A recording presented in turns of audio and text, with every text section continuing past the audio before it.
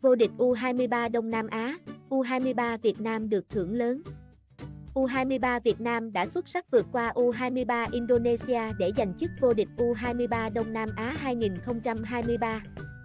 U23 Việt Nam đã trải qua 120 phút thi đấu đầy khốc liệt với U23 Indonesia tối ngày 26 tháng 8 ở trận chung kết U23 Đông Nam Á. Trận đấu được phân thắng bại trên chấm penalty.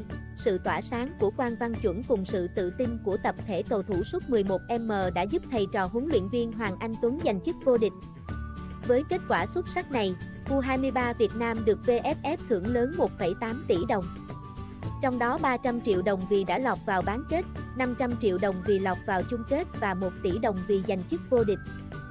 Chia sẻ cảm xúc sau khi cùng các đồng đội nỗ lực thi đấu, thủ môn Quang Văn Chuẩn cho biết. Cảm xúc lúc này em rất là vui, mục tiêu chúng em là đến trận chung kết. Bây giờ chúng em đã vô địch. Em nghĩ công lao đây không phải chỉ mình em, công lao của toàn đội, tất cả mọi người chung tay đóng góp cho chức vô địch này. Quả cuối cùng em đẩy ra là do may mắn thôi. Giải này em ấn tượng nhất là em hoàn thiện được bản thân em. Em muốn dành tặng chức vô địch này cho gia đình và tất cả người yêu thương em và hâm mộ em, Văn Chuẩn chia sẻ. Các bạn hãy đăng ký kênh để cập nhật thông tin miễn phí mới nhất.